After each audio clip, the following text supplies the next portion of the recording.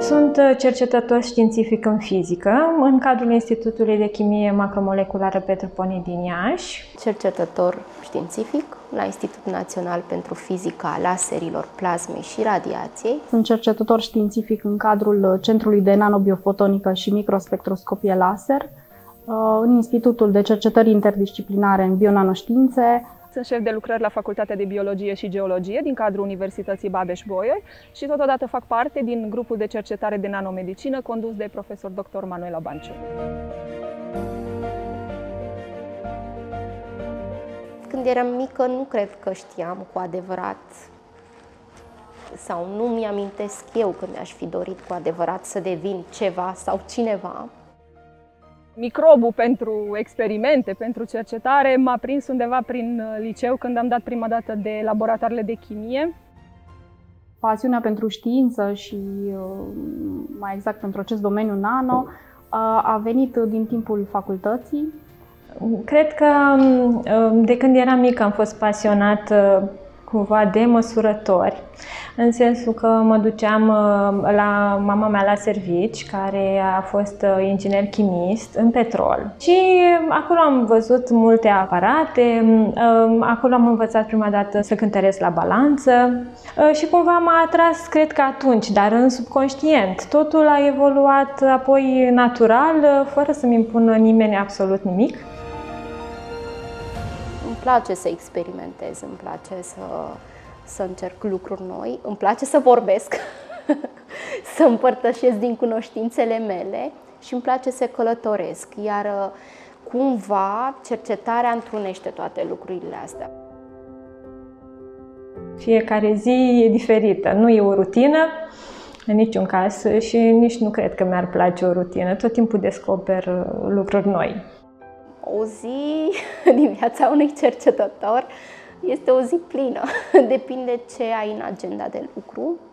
Poate fi cum ați nimerit astăzi în laborator, la experimente, alături de echipa de lucru, unde planifici și cauți să găsești parametrii optimi de depunere pentru a obține cele mai bune rezultate fie vorbesc cu sintezistul care îmi face materialele și ne consultăm ce să mai pună, ce să mai scoată, în ce cantități, în funcție de ce am eu nevoie ca și proprietăți ulterioare.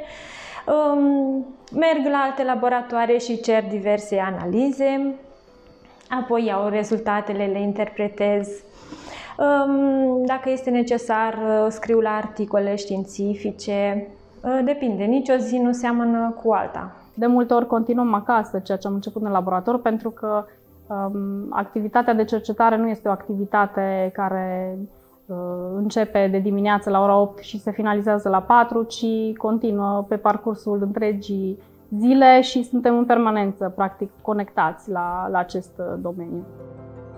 Eu mă gândesc că dacă fac ceva ce într-un viitor va folosi oamenilor, pot să mă consider că sunt de succes, voi avea succes, dar așa nu urmăresc succesul în fiecare zi. Deci, cercetătorii de obicei își uh, stabilesc un scop pe termen lung, dar merg cu pași mici în a obține ceea ce vor.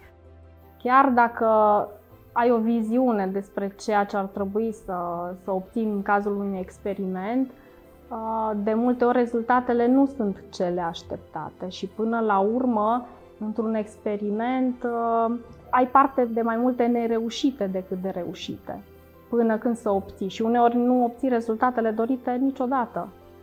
Dar uh, procesul acesta de căutare este cel care trebuie să-ți placă și uh, în legătură cu asta trebuie să fii pasionat, pentru că dacă nu ești pasionat de asta, o să te plictisești.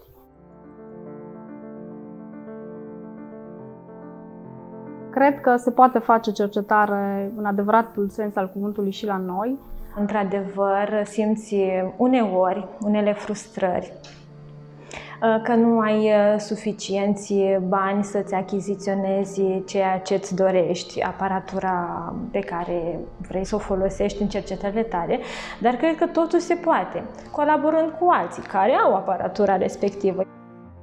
Da, sunt multe neajunsuri, dar uh, satisfacția obținerii unui rezultat uh, frumos aplicabil, îți dă putere să mergi înainte. Astea sunt momentele noastre de bucurie, micile fericiri din laborator. Tinerele nu ar trebui să se gândească cu timiditate la o carieră în știință și în cercetare, uh, pentru că dacă sunt cu adevărat pasionate, orice se poate. Trebuie să ai o simplă idee. Poți să faci bani absolut din orice. Chiar și din cercetare se pot face bani dacă alegi să scrii și să faci cu pasiune ceea ce faci.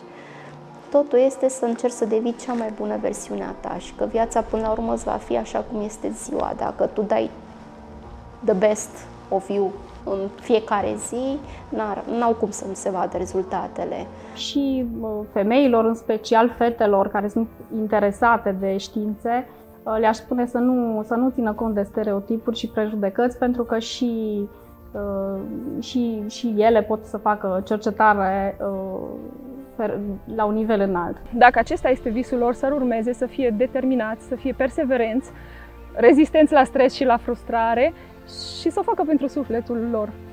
Eu pentru asta o fac, deci pentru asta fac uh, meseria de cercetare.